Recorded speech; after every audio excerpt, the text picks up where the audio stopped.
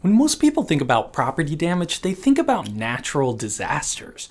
But what if I told you there's a slow moving, geologic phenomenon that causes more damage in the United States than earthquakes, floods, hurricanes, and tornadoes combined? Hey, I'm Grady, and this is Practical Engineering. Today, we're talking about expansive soils.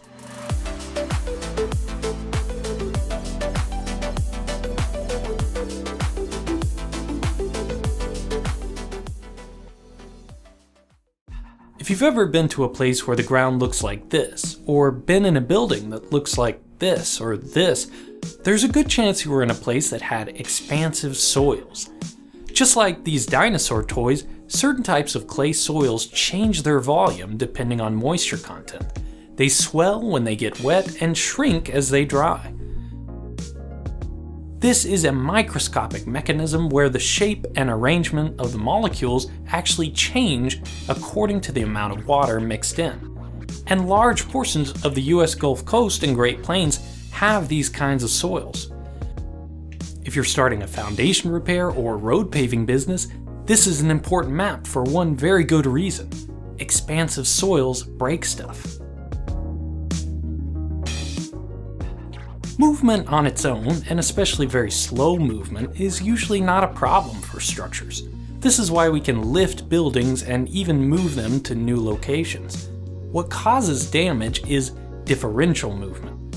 This is where certain parts of a structure move relative to each other. Differential movement leads to sticking doors and windows, cracked walls, and just general out of plumbness. And this is why expansive soils are so insidious because they don't expand and contract evenly.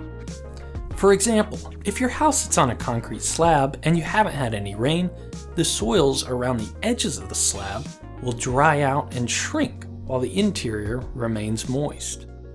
Now you get a foundation with no support around the edges. And this breaks one of the fundamental laws of civil engineering, which says, and I quote, you gotta have dirt underneath your concrete.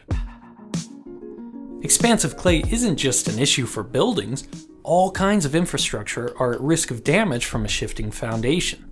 Leaking pipes can cause swelling of the soil, pulling apart joints, and eventually leading to issues like sinkholes.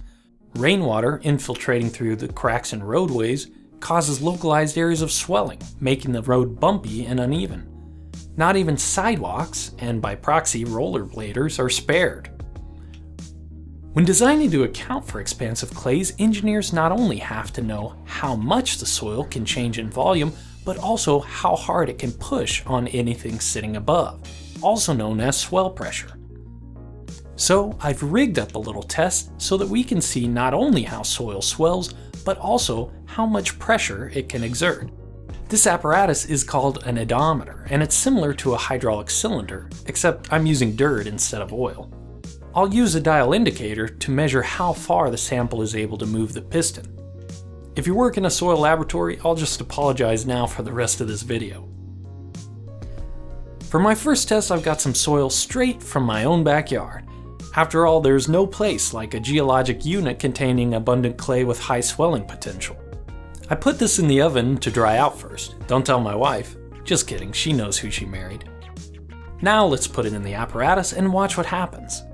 As it saturates, the soil expands over time, eventually reaching a 10% increase in volume over its dry state. Trust me, that's enough to put a crack in the drywall. But it's really not that dramatic on video. So to help illustrate the rest of these concepts a little better, I've got a bag of instant viral video. That's right, I'm talking about super absorbent polymer beads, also known as Orbeez. These beads actually behave very similar to expansive soils, except they're way cooler than dirt in almost every way, even for a civil engineer. First I tested these with no confining pressure, and went a bit overboard. You can imagine if you built a house on this, you might get motion sickness every time it rains. It would wreak havoc on your structure. I tried it again with fewer Orbeez, but it was still too much. This is an exaggerated view of what happens as water penetrates the subsurface and saturates an expansive soil. It's hard to imagine anything that could avoid damage in this environment. So let's add some weight, and fewer Orbeez this time so I don't max out the range of my dial indicator. You can see that these fishing weights hardly make a difference. And that makes sense, right? A house probably puts more pressure on the ground below it than a few fishing weights. What about 10 times that? It takes them a bit longer, but these Orbeez are still able to swell to their full dimension under this 20 pound barbell, which is about the most my little acrylic oedometer can handle. This is not just the case for Orbeez, by the way. Some clay soils have swell pressures on the order of megapascals. That's hundreds of pounds per square inch. So you can see how big of a challenge these expansive soils can pose. There are lots of ways that engineers try to mitigate damage from these kinds of soils. You can simply remove all the expansive clay and bring in better soils for your project.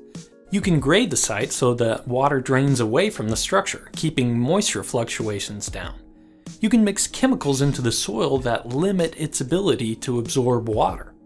Finally, you can simply build heavy enough to counteract the swell pressure and keep the soil from expanding.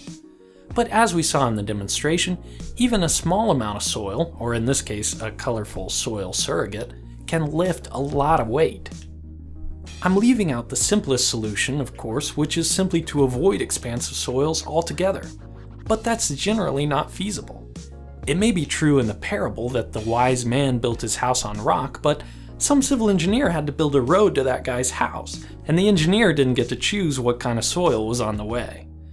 Expansive soils are not a particularly newsworthy or exciting hazard, unless you're the type of person who makes videos about dirt in your garage, but they still cause a tremendous amount of damage to buildings and the public infrastructure that we rely on every day.